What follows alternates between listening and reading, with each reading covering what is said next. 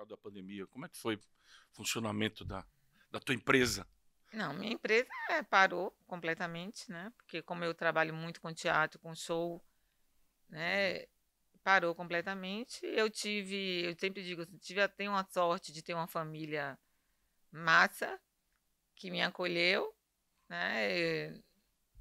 Eu fiquei em casa, totalmente de, em pânico, com medo de alguém pegar eu, meus filhos pegarem a doença e morrer.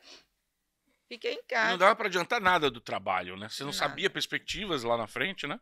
Não, não sabíamos. E quando começamos, a- quando começou a retomada, que nós nos juntamos, os 11 produtores, para fazermos aquele evento no centro de convenções, tivemos que parar de novo.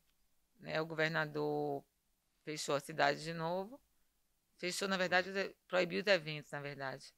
De novo, então nós tínhamos uma programação de três datas de show, tivemos que cancelar de novo e retomar.